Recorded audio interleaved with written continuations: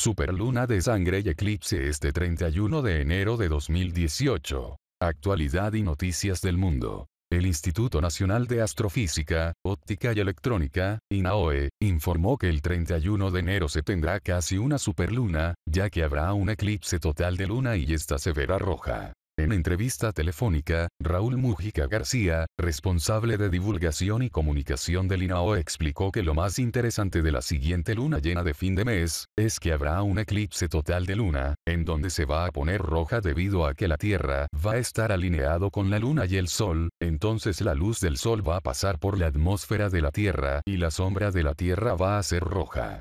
Mencionó que la tonalidad del rojo depende de la cantidad de polvo y de contaminantes que hay en la atmósfera. Lo mismo es para cada eclipse un fenómeno astronómico importante para apreciar el cielo. Acentuó que a la segunda luna llena que sucede en un mismo mes se le llaman azul.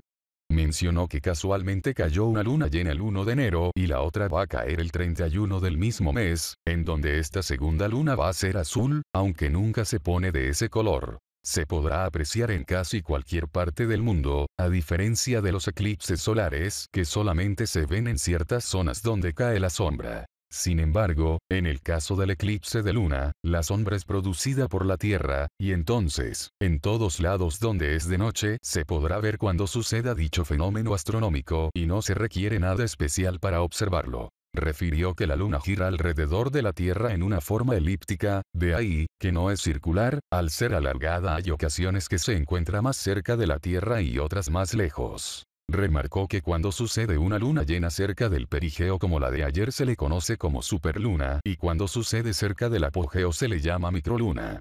El término superluna no se utiliza astronómicamente, nosotros diríamos luna llena cerca del perigeo, apuntó. Además, detalló que durante una superluna el tamaño aparente es como 14% más que el promedio, y llega hasta un 30% ser más brillante dependiendo de sus condiciones. Una nota importante de destacar. Un eclipse nunca llega solo. Un eclipse solar siempre ocurre unas dos semanas antes o después de un eclipse lunar. Generalmente, hay dos eclipses seguidos, pero otras veces, hay tres durante la misma temporada de eclipse. Este es el primer eclipse esta temporada. Segundo eclipse. 15 de febrero de 2018, eclipse solar parcial. Actualidad y noticias del mundo.